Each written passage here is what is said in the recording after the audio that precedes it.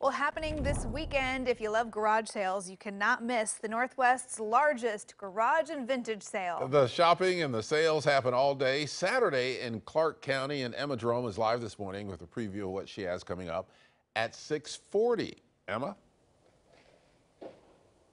All right, Ken, Emily, this place is so big. You need a golf cart to get around. That's exactly what I found right here. And I'm going to be spending the rest of the morning when I'm not talking to y'all in this thing. The Northwest's largest vintage in garage sale. We showed you some vintage items in the last hour. Now we're in the garage sale half of it, and I got another game for you guys. Guess the price. This time, and Travis will know the value of these.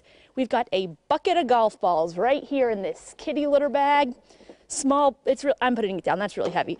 And we got a bucket of golf balls, and we got some prices for you. What do you think this bucket of golf balls is selling for? We've got A, $6, B, $10, C, $14, D, $25. You want to find out? You want to hit the fairway with these guys for, for a deal?